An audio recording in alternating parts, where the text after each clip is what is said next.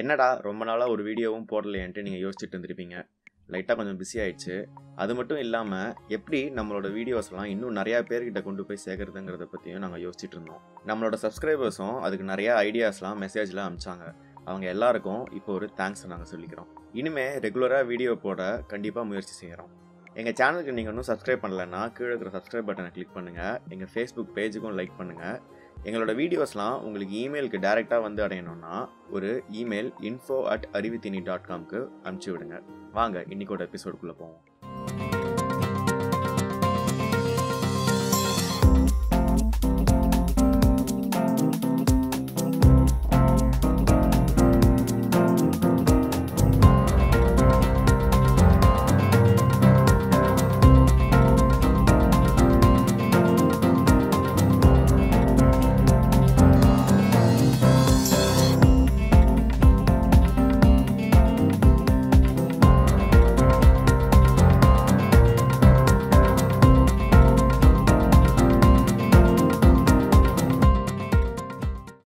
ஒரு சின்ன எக்ஸ்பெரிமெண்ட்டோட ஆரம்பிப்போம். இந்த எக்ஸ்பெரிமெண்ட்டை பண்ண நமக்கு தேவையான ஐட்டம்ஸ் ரெண்டு ஃபோர்க்கு ரெண்டு பல்லு குத்துற குச்சியோ இல்லை வத்தி குச்சியோ அப்புறம் ஒரு கிளாஸ் டம்ளர் இல்லை ஒரு சாதா டம்ளர் கூட ஓகே முதல்ல இந்த ரெண்டு ஃபோர்க்கையும் எடுத்து அதை ஜாயின் பண்ணிக்கோங்க நல்லா அழுத்தி. ரெண்டு ஃபோர்க்கையும் சேர்த்த பிறகு இப்படி இருக்கும். அடுத்து ஒரு பல்குச்சியை எடுத்து இது ரெண்டு ஃபோர்க்குக்கும் நடுவில் சொருகணும். அடுத்து நம்ம கிளாஸ் டம்ளரை எடுத்துட்டு இந்த பல்குச்சியை அதோட ரிம்மில் பேலன்ஸ் பண்ண ட்ரை பண்ணுங்கள் கரெக்டாக ஒரு பொசிஷனில் இந்த ஃபுல் செட்டப்பும் அப்படியே சூப்பராக பேலன்ஸ் ஆகும். இந்த மாதிரி. என்னடா மேஜிக்கான்னு கேட்பீங்க கண்டிப்பாக இல்லை. எல்லாமே ஃபிசிக்ஸ் தான். இது எல்லாத்துக்கும் காரணம் சென்டர் ஆஃப் மாஸ் சரி சென்டர் ஆஃப் மாஸ்னா என்ன?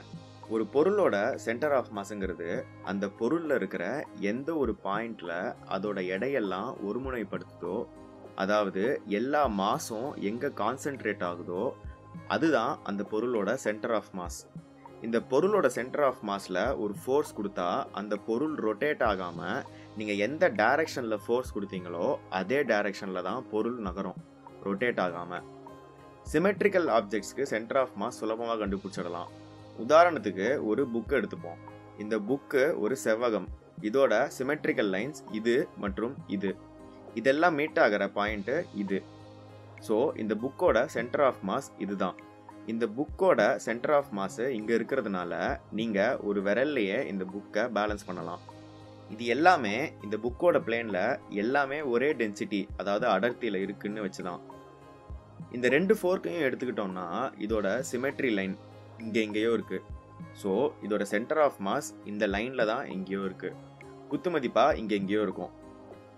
இதனால தான் கரெக்டாக அந்த பாயிண்டில் நம்ம ஃபுல் செட்டப்பும் கிளாஸ் டம்ளரோட ரிம்பில் நின்றுச்சு இன்னும் நீங்கள் நம்பலைன்னா இதை பண்ணுவோம். டம்ளரோட உள் பக்கத்துலேருந்து இந்த பல்குச்சியை பற்ற வைப்போம். ரிம்மு வரைக்கும் எரிஞ்சால் கூட நம்ம செட்டப்பு அப்படியே நிற்கும் சிமெட்ரிக்கல் பொருட்களுக்கு நம்ம முன்னாடி பார்த்த மாதிரி ஈஸியாக கண்டுபிடிச்சிடலாம் சென்டர் ஆஃப் மாஸ் சிமெட்ரி இல்லாத பொருள்களுக்கு எப்படி கண்டுபிடிப்பீங்க?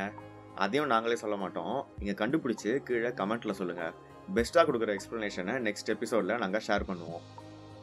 சென்டர் ஆஃப் மாஸை நிறையா இடத்துல நம்மளால் பார்க்க முடியும். F one race cars traffic cones double decker bus இது எல்லாத்துலேயுமே நம்ம பார்க்கலாம். பேஸ் பெருசாக இருக்கும் அதோட சென்டர் ஆஃப் மாஸ் கீழே இருக்கும்.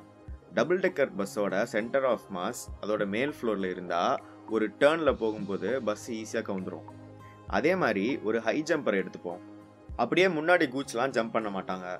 ஒரு மாதிரி உடம்ப வளைச்சு பின்னாடியாக குதிப்பாங்க. இது என்னைக்காவது ஏன்னு யோசிச்சிருக்கீங்களா? நம்ம உடம்போட சென்டர் ஆஃப் மாஸ் நம்ம வயிறு கிட்ட இருக்கும். இதை வச்சு அப்படியே நேராக குதிச்சா நம்ம பாடியோட சென்டர் ஆஃப் மாஸ் இவ்வளோ ஹைட்டு போகணும். இதுக்கு நிறையா எஃபர்ட் நம்ம போடணும். ஆனால் உடம்ப வளைச்சி குதிச்சா நம்ம பாடியோட சென்டர் ஆஃப் மாஸ் போக வேண்டிய தூரமும் உயரமும் ரொம்ப கம்மி. அதனால தான் ப்ரொஃபஷனல் ஹை ஜம்பர்ஸ் எல்லாருமே இந்த மாதிரி குதிக்கிறாங்க.